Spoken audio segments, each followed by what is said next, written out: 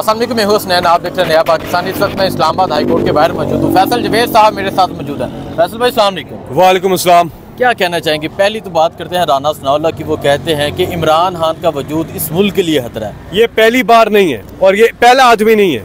इससे पहले भी नून लीग के कई लोग हैं जो कि इमरान खान को इस किस्म की बातें फौरी तौर पर इन पर मुकदमा दर्ज होना चाहिए। और पीटीआई जो कानून के मुताबिक कार्रवाई करेगी। जी। आज गए हैं पीटीआई के वकील लेकिन उन्होंने मुकदमा दर्ज वही नहीं तो मैं। कह रहा हूँ होना चाहिए। इन पे अदालत पे जाना पड़े कुछ करना पड़े पाकिस्तान तहरीक इंसाफ जो है ये करेगी और इसकी ऊपर पूरी कानूनी चाराजोई करेगी। जी। अच्छा फैसल भाई आपकी इमरान खान से मुलाकात हुई है डियाला जेल? अभी तक तो नहीं हुई है। फिर ऑर्डर लिया हुआ है मैंने हाई कोर्ट से और अब कोशिश ये है कि उनसे मुलाकात हो जाए कल। अच्छा डोनाल्ड लू कहते हैं कि साइफर नहीं आया। और यहाँ साइफर की समाज चल रही है। ये साइफर की समाज जो अपील जो चल रही है, आधे घंटे से ज़्यादा का काम नहीं है इसमें। और इमरान खान के ऊपर कोई चीज़ भी, सारे मुकदमे ही फारिग हैं। सारे मुकदमे ही फारिग हैं इंक्लूडिंग दिस वन आधे घंटे से ज़्यादा केस पे नहीं है कि इस केस को खत्म किया जाए। इसमें कुछ है ही नहीं है। बाकियों में भी कुछ भी नहीं है। जी। कहा यह जाता है कि इमरान खान पच्चीसवें रोज़े से पहले आ जाएँगे इस रोज़े से पहले आ जाएँगे। ये तो हमारे, है? हमारे वकील हमें बताएँगे मुझे तो नहीं पता लेकिन ये है कि असल में अगर सही देखा जाए इंसाफ अगर हो तो ये दो दिन की बात है। दो दिन के अंदर इमरान खान साहब को रिहा हो जाना चाहिए। तो अगर देखा जाए जो अपीलें हैं जो आपके सामने आप बैठे हुए थे कोर्ट में हम्म। आपने देखा है जो आर्गूमेंट्स हुए जो चीज़ें हुई सबके सामने हैं सारी चीज़ें। जी। तो आप इंसाफ होता हुआ देख रहे हैं? हम इंसाफ होते हुए कि अल्लाह से दुआ करते हैं कि अल्लाह ताला ये कि पाकिस्तान में जब तक इंसाफ राज नहीं होगा, ये मुल्क आगे तरक्की नहीं कर सकता है। ये एक सिर्फ़ इमरान खान की बात नहीं है, ये इंसाफ की बात है। ये पाकिस्तान के तमाम जो लोग यहाँ पे बसते हैं, जो शहरी हैं पाकिस्तान के, ये हर एक से जुड़ा चीज़ है और ये इंसाफ होगा तो आगे जाएँगे। और सोशल मीडिया जी। तीस का जलसा उसकी डीसी साहब ने इजाज़त नहीं दी। तो क्या तरीके हम, हम कोर्ट्स में जाएँगे ये हमारा हक बनता है। कॉन्स्टिट्यूशन में लिखा है कि आप पुरमन एहतजाज आपका हक है आप कर सकते हैं। इसमें क्या है? और मुख्तस भी की हुई है सुप्रीम कोर्ट का भी हुक्म आया हुआ है जगह मुख्तस की हुई है वहीं हम करना चाह रहे हैं उसी जगह पे। वहाँ तो कोई ट्रैफ़िक नहीं है कोई ऐसी प्रॉब्लम नहीं है। उधर हमें जलसा करने थे हमने पहले भी वहाँ जलसे किए हैं।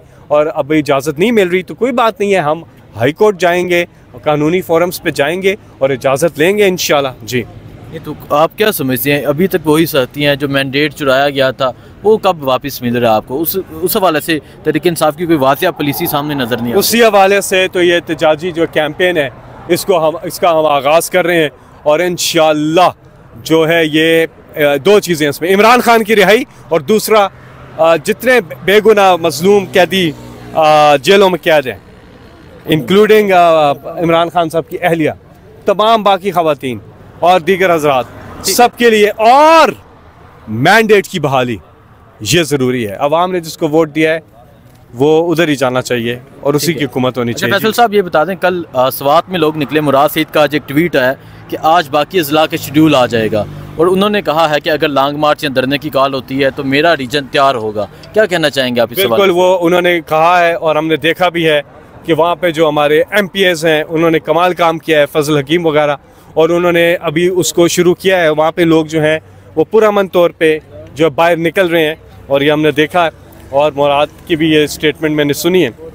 और सवात में जो है बड़े बालाकंड में बड़े बाशूर लोग हैं। और वो अ, हमेशा से वो अ, निकलते रहे हैं और उन्होंने पुरमन अपने हक के लिए उन्होंने एहतजाज किए हैं। और ये बड़ी हमने देखा है कि किसी भी कौम में ये बड़ी एक ज़बरदस्त बात होती है कि वो कितनी वाइब्रेंट कौम है कितनी जागती हुई कौम है कितना शूर रखती हुई कौम है। तो उसकी एक मिसाल दी है उन्होंने और तैयारी कर रहे हैं। दूसरी चीज़ अभी वो भाई पूछ रहे थे सोशल मीडिया के ऊपर जो एक आजकल चीज़ चल रही है।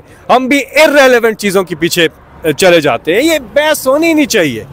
इस बहस की ज़रूरत है ही नहीं है। लेकिन एक दफ़ा मैं ये कह देना चाहता हूँ कि हमारे जो सोशल मीडिया की ऑफिशियल जो एसएमटी है जो हमारी टीम है वो सेल्फलेस उनका कंट्रीब्यूशन है पाकिस्तान के लिए। वो अनसंग हीरोज है पाकिस्तान के। उनकी बेपनाह कंट्रीब्यूशन है पाकिस्तान के लिए। हमारे कोई ऑफिशियल किसी किस्म की किसी को कोई गाली नहीं देता। हमारे कोड ऑफ़ कंडक्ट है। हमारे एस ओ पीस है जो इमरान खान साहब ने खुद जारी किए हुए हैं। उस पर अमल दरामद करते हैं हमारे ऑफिशियल टीम्स जी। बहुत शुक्रिया सर। Thank you